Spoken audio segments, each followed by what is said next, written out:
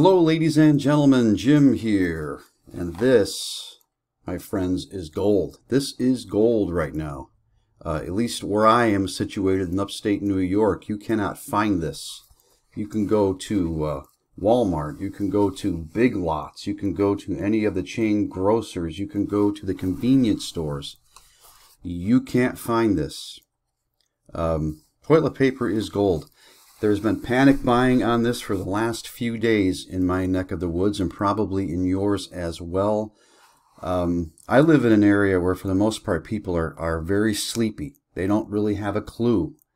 They they've a lot of them have heard there's some bad virus going around, and they just go back to uh, whatever they're doing on their phones, and and uh, and it's like whatever or something.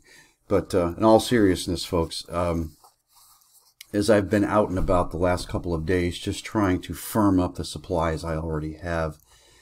I'm I'm seeing toilet paper gone. I'm seeing paper towels gone.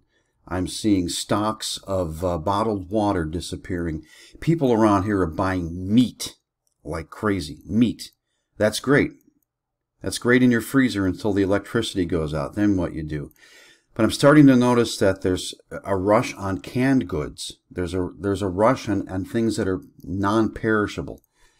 Um, how warranted th is this? Well, I would say quite warranted if we end up with uh, travel restrictions here in the United States of America, possibly expanded martial law that may uh, that may basically uh, prohibit any movement anywhere in the country unless you're going to work or going to the store, or depending on where you are, it may be no movement at all.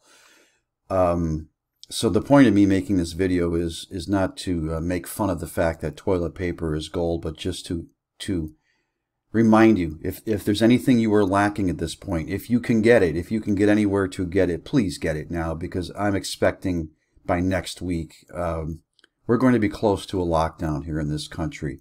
Uh, we, we may very well be following suit with Italy and Spain as the uh, the COVID-19, uh, the C bug, uh, that bioweapon. You know, I don't use it in my titles anymore because YouTube doesn't like when I uh, use that. Uh, the reference to the actual um, infection.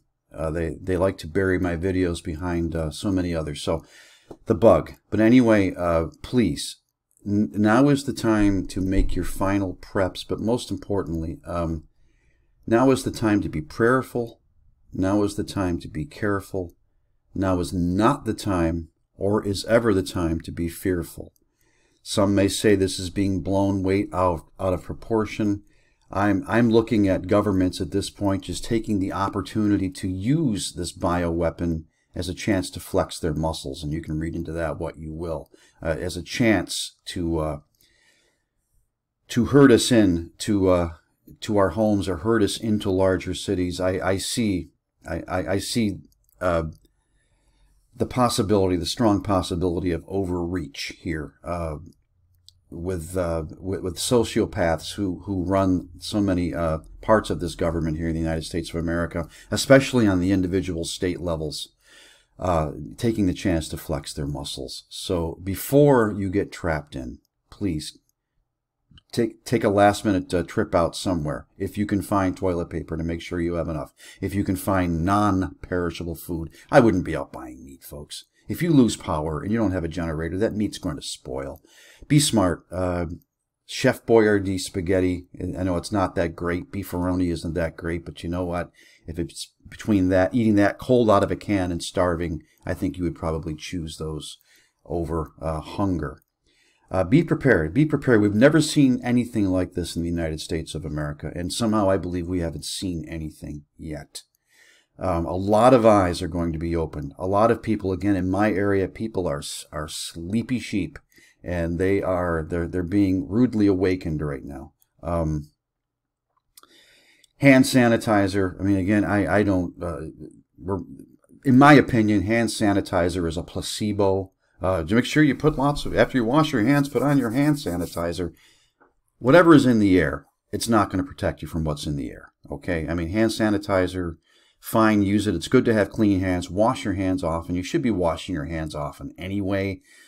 Um, but toilet paper is gold right now. And if you need it, I, I, I hope and pray that you can find it. Please be prayerful. Jesus is the only way out of this. And uh, he, he can come back anytime. Jesus is, is our protector, our defender, our intercessor. This, this is going to get bad, folks. It's bad now. It's going to get much worse. I should say that. So be prepared. Be prepared for anything, but do not be given over to the spirit of fear, but instead of the power of love and of a sound mind that comes through our Lord and Savior, Jesus Christ. Jim's signing off, and I hope I see you soon.